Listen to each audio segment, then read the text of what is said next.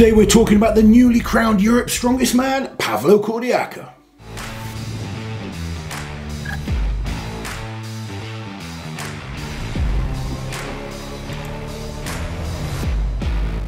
Pavlo's recent performance at Europe's Strongest Man has kind of really opened everyone's eyes as to how good this guy is. We've known how good he is for a while.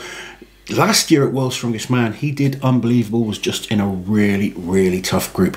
This year, the events are so good for him in the heats. Yeah. So, Auntie Liz, tell us some facts about Pavlo Kordiyaka, the newly crowned Europe's Strongest Man. So Pavlo's first international competition was back in 2019 when he competed at the Amateur Arnold Strongman World Championships. But his real breakthrough performance was in the 2020 Ukraine Strongest Man when he beat Alexei Novikov not long before Alexei then went on to win the World's Strongest Man. The following year, in 2021, Pavlo appeared at the official Strongman Games, taking the overall win and qualifying himself for Europe's Strongest Man 2022. Last year was his first appearance at the World's Strongest Man, and he was in a super tough group and battled it out on the stone off with Maxime Boudreau, one of the worst people to have against you in a stone off. After 10 successful lifts, Pavlo was unfortunately eliminated from the competition, but has come back strong this year as the newly crowned Europe's strongest man. And when we did our video last year comparing groups across the board, Pavlo would have made the final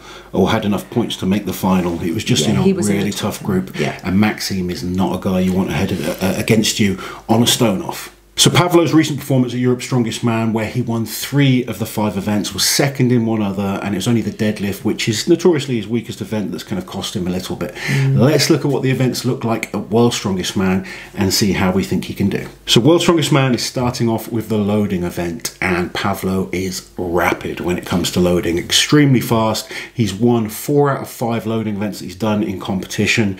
He's an extremely dynamic athlete. I always kind of use the word athlete with him because he really is. He's fast, explosive. He's he just moves across the ground so quickly. You spoke about this in the Europe's performance where he almost picks things up and he's moving as he's picking them up. Yeah, it doesn't stop. He is so so quick, and I think this is an event that he can beat anyone in the world at. Yeah. Moving on to the deadlift machine now, very similar to Mateusz Kieliszkowski in strengths and weaknesses. Deadlift is not his best event, but just like Mateusz, I think this setup could suit him okay. And I still think he's not such a bad deadlifter that there won't be some guys he can beat in his group. Yeah, he's not kind of like the worst deadlifter there at World Strongest Man. He's just not going to challenge the very top guys. But in a group, you've got to kind of wait and see who's in your group. If he can pick up even three points on a deadlift, he's going to be very pleased with that. And then going from the deadlift, we move on to the log ladder. Now he won the log ladder at Europe's Strongest Man, beating some very impressive log lifters.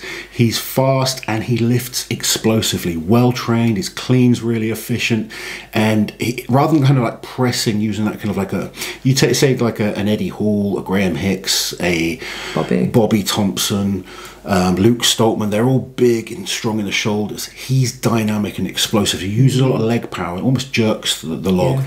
which means he can move it quickly. And if it's not too heavy, he is going to be hard again to beat this. I think it's going to be a similar weight to Europe's Strongest Man. He was the only athlete to do five logs at Europe's Strongest Man. I cannot see him scoring badly on this one. I can't see anyone in the 30 athlete lineup actually beating him on this one. I might eat my words later. Yeah, there- but- there's, there's always athletes that can. There's a lot of good log lifters. There is, but when you you think can't about see the that many being in the same event as him, uh, same group as him. No. And the fact that he can do it so quickly is going to make I him very, very difficult to beat. And then another good event is the Conan Circle. Now he just broke the Giants Live world record on the Conan Circle. So again. You cannot see him doing badly on this one. I mean, how many people are going to beat Pavlo at a Conan Circle? I really can't see many that are capable of doing it. He destroyed the world record at Giants Live and just put in a huge dominant performance. Those events for Europe were so good in prep for World Strongest Man heats.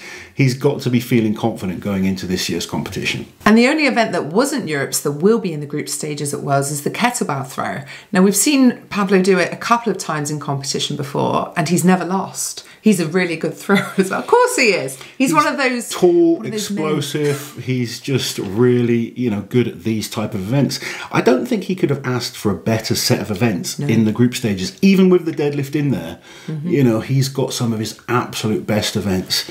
He is going to be a nightmare. And then, if needed, It will finish on the stone off. And he's a great stone lifter. Came second at the stones at Europe's.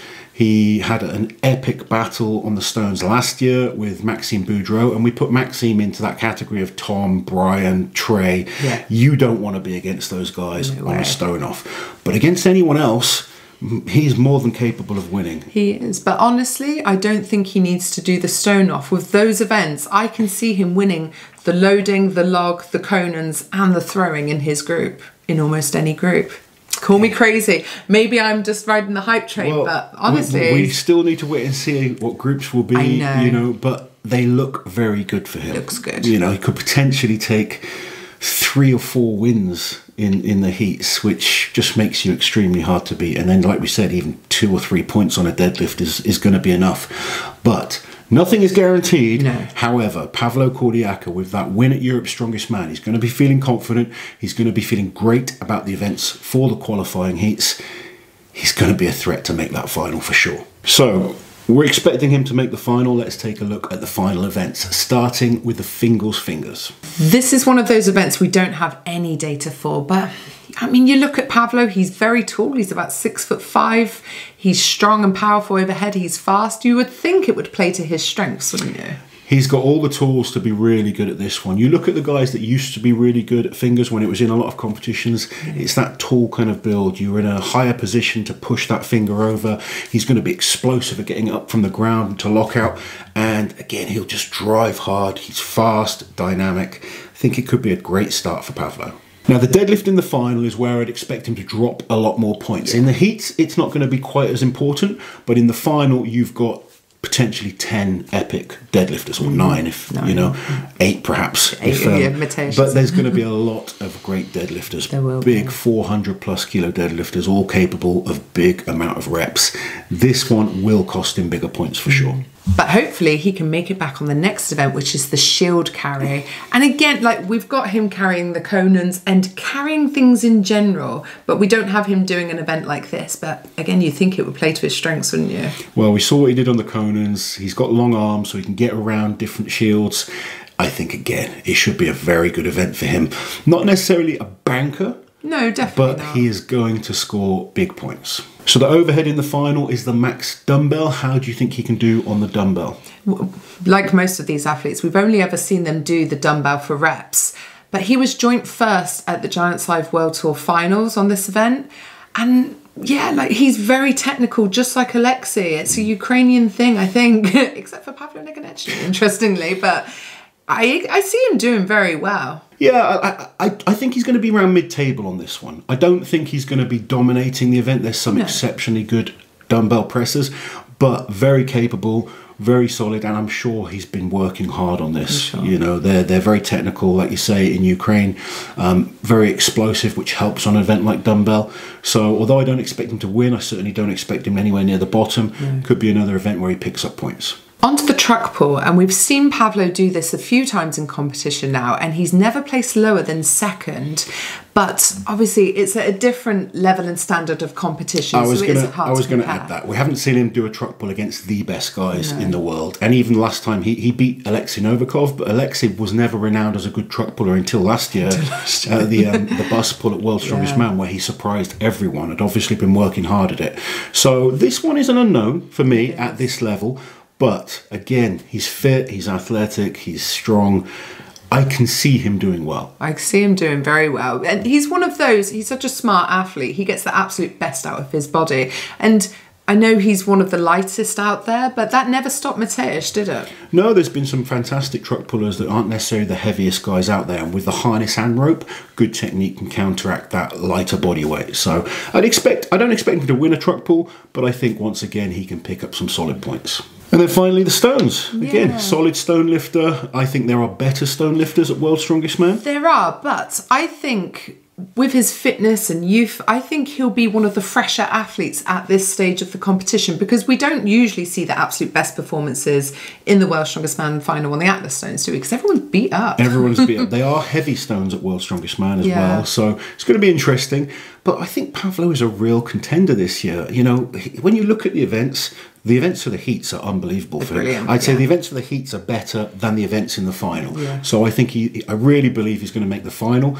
The heat, the the final, sorry, is going to come down to his own performances, not making a mistake, how good other people are. There's a lot of factors in there.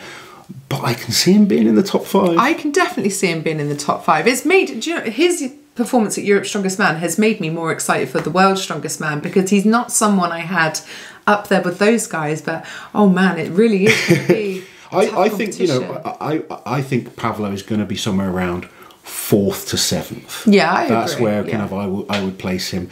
He's not one of my absolute favourites for the title, No. but he's very competent. He's improving lots, and like I said, those events in the heats. If, if the events for the heats were the finals, I would put him as a contender. Yeah. Overall, just different events in the final makes him slip down a little bit. But I'm looking forward to watching Pavlo, seeing how he can do. The performance at Europe's was fantastic. If he can keep that confidence, keep building towards Worlds, could be a very exciting World's Strongest Man for the Ukrainian. So, guys, are you as excited to see Pavlo compete as Auntie Liz is? I'm excited to watch him too. He's really a dynamic athlete, really good to watch, and just a lovely, lovely guy. Really nice. He is, without question, a contender this year. Let us know your thoughts as always. Don't forget, like, share, subscribe to the channel, and we'll catch you guys next time. Stay strong.